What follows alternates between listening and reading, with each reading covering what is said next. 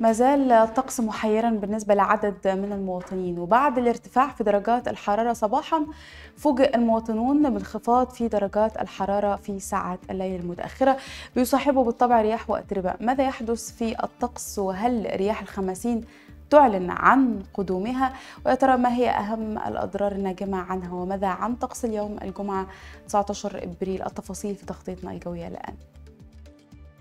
بجدد الترحيب مرة أخرى بحضراتكم مشاهدينا. شهدت محافظات مصر موجة حارة تتزامن مع دخول فصل الصيف وأيضا ارتفاع درجات الحرارة بشكل محسوس خصوصا في فترة الظهيرة والصباح البكر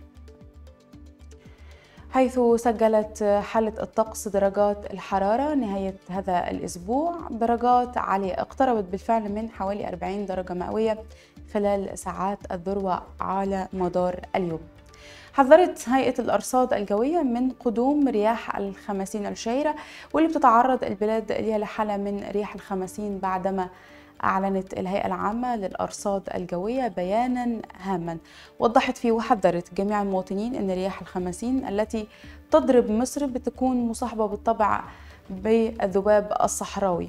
ونصحت كل المواطنين بضرورة إحكام إغلاق جميع النوافذ منعا لدخول الذباب إلى المنازل لأنه ضار جدا. بدأت بالطبع بعض المحافظات تتعرض لموجة رياح الخمسين واجتاحت رياح الخمسين مدينة أسوان مساء أمس الخميس. عاصفة ترابية شديدة جدا خمسينية كانت مصحوبة بحالة من التقلبات الجوية أدت إلى تصاعد الأتربة الشديد إلى مستويات مرتفعة. كمان تسببت في حجب الرؤية بشكل جزئي أمام المارة وأمام المواطنين في أسوان. خاصة على طريق كورنيش. النيل والطرق السريعة والطريق الصحراوي أسوان إدفو. وبالطبع كان في أثار نجمة عن كده أطلقت محافظة أسوان تحذيراتها الشديدة والسريعة على أصحاب وقائد المركبات بتوخي الحذر أثناء السير على الطرق السريعة من وإلى أسوان. أيضا قررت محافظة أسوان رفع درجة الاستعداد الشديد وحالة الطوارئ بمرافق الإسعاف ومرافق الإطفاء تحسبا بالطبع لأي أحداث ناجمة عن العاصفة الترابية خلال الساعات القليلة القادمة ولحين تحسن الحالة الطقس التي تمر. كما تم رفع درجة الاستعداد لفرق جميع الكهرباء والحماية المدنية وأيضا الإسعاف وجميع المستشفيات الخاصة والعامة في مدينة أسوان. أعلنت أيضا هيئة الأرصاد الجوية عن توقعاتها لطقس اليوم الجمعة 19 إبريل 2024 وتوقع خبراء هيئة الأرصاد الجوية أن يسود طقس حار نهارا على القاهرة الكبرى وأيضا مناطق من الوجه البحري وجنوب سيناء وشمال الصعيد. استكمالا لحالة الطقس حالة الطقس تكون شديدة الحرارة على جنوب الصعيد وتكون دافئة على السواحل الشمالية بينما يسود طقس مائل للبرودة ليلا. على شمال البلاد حتى شمال الصعيد. الطقس يكون معتدل على جنوب سيناء وجنوب الصعيد.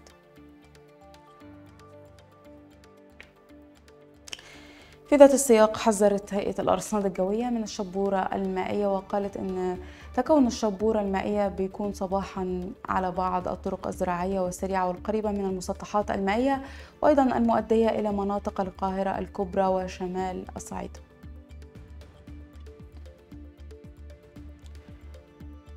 أيضا الشبورة قد تكون كثيفة أحيانا على مناطق من الوجه البحري والسواحل الشمالية ومدن القناة ووسط سيناء. بالطبع تنشط رياح على مناطق من القاهرة الكبرى ومدن القناة وجنوب سيناء على فترات متقطعة على مدار اليوم في معظم محافظات الجمهورية وبالطبع حذرت هيئة الأرصاد الجوية من هذه الظاهرة.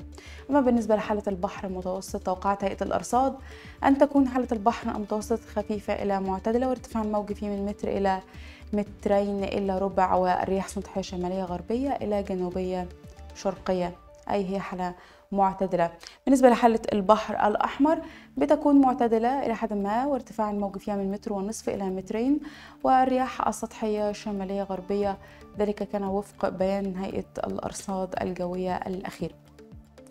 مشاهدينا الآن نتحدث عن طقس الأيام المقبلة. كشف الدكتور محمود شاهين مدير عام إدارة التنبؤات والإنذار المبكر بهيئة الأرصاد الجوية تفاصيل عديدة لحالة الطقس خلال الفترة المقبلة والأيام القادمة.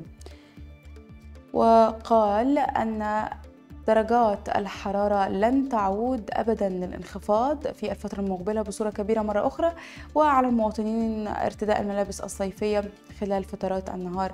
ذلك لدرجات الحرارة العالية المرتفعة.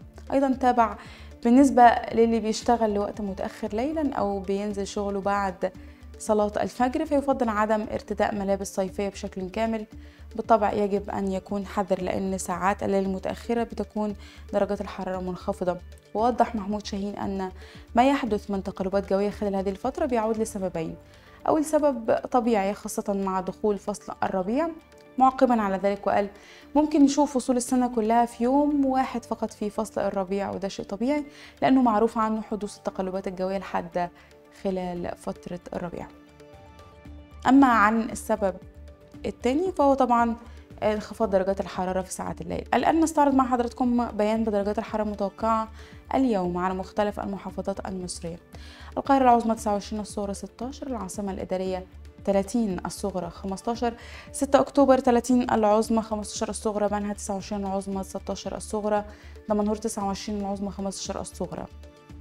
كفر الشيخ 28 العظمى 15 الصغرى والمنصورة 28 العظمى 15 الصغرى. الزقازيق 29 العظمى 16 الصغرى طنطا 28 العظمى 15 الصغرى بورسعيد 22 العظمى 16 الصغرى السويس 31 العظمى 16 الصغرى والعريش 23 العظمى 14 الصغرى. مشاهدينا الأعزاء هذه كانت آخر تفاصيل حاله الطقس اليوم والأيام المقبلة وأيضا تحذيرات هيئة الارصاد الجوية.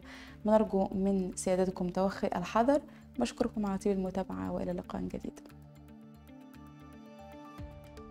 thank you